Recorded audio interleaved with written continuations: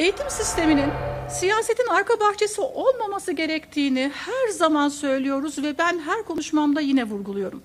Eğitimcilerin atanmasında sözlü sınavlar subjektif kriterler içerir diyoruz. İtirazı zordur diyoruz. Eğitimin siyasileşmesine ve şaibelere daha fazla açıktır diyoruz. Hepimizin bildiği gibi önceki gün 15 bin sözleşmeli öğretmen ve 5 bin dershane öğretmenin alımıyla ilgili sözleşmeli öğretmenlik mülakatları yapıldı arkadaşlar. Ve sonuçlar açıklandı. 175 binden fazla kişinin başvuru yaptığı sözleşmeli öğretmenlik hakkı için adaylar 18 bölgede 495 komisyon tarafından mülakata alındılar. Atama bekleyen yüz binlerce öğretmen mülakat sonuçlarına bu sonuçların açıklanması ve mülakattan sonra itiraz etti, tepki gösterdi. BİMER ve Milliyetin Bakanlığı'na şikayetler yağdı, imza kampanyaları başladı. Eğitim sendikalarının yöneticileri sözleşmeli öğretmenlik ile mülakatın kaldırılmasını, sadece kadrolu öğretmenlik atamasının yapılması istediklerini de yer yer dile getirdiler arkadaşlar.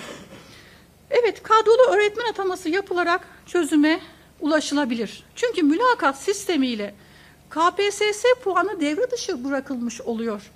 Ve bu hukuken yanlıştır. Bu emek hırsızlığıdır, bu emeğe saygısızlıktır ve bu liyakat esasına da karşı bir sistemdir.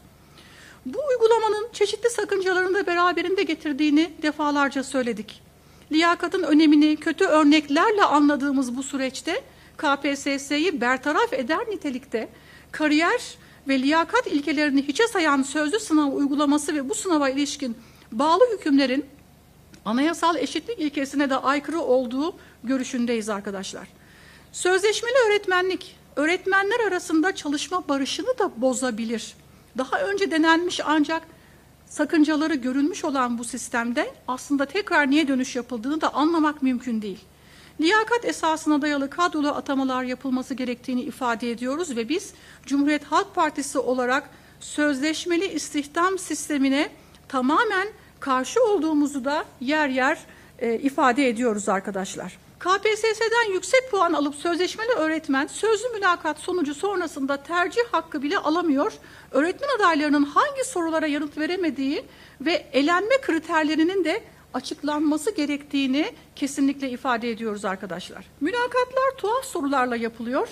ÖYP'liler 33 kadrodan kadro garantisi olmayan 50 de kadrosuna geçiriliyor. Eğitim sistemi uzun vadeli ideolojik hedefler doğrultusunda talan ediliyor. Okul kitaplarında aynı ideolojiler yer yer geçiyor.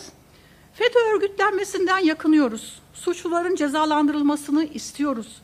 Bu süreç bize liyakatın önemini de gösterdi. Peki neden hala liyakata değil de anlamsız sorulardan oluşan mülakata önem veriyoruz? Bırakın çağdaş layık eğitim ile Türkiye'yi ileriye taşıyalım. Bırakın liyakata göre kadroları oluşturalım. Hala bunlardan ders alınmadı mı diyorum arkadaşlar ve teşekkür ederim.